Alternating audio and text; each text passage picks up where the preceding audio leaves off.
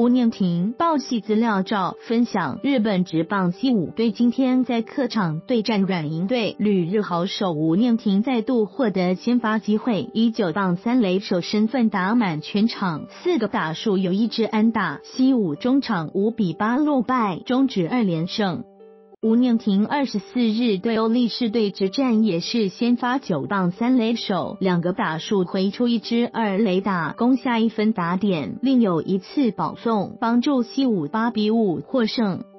西武休兵三天后，今天对战太平洋联盟冠军软银，也是吴念婷本季首次对战软银。前两个打数挂零，七局上挥出安打，串联西武这半局武安攻势追回三分。不过软银前五局攻下七分，奠定胜机，中场仍以三分之差获胜，终止二连败。吴念婷八局上最后一个打数被三振，本季出赛十三场，打击率二成六十五，打点四分，未有全垒打。西武目前在洋联排名第二，球季赛只剩最后五战，后天以十扎幌巨蛋对决日本火腿队，吴念婷仍有出赛机会。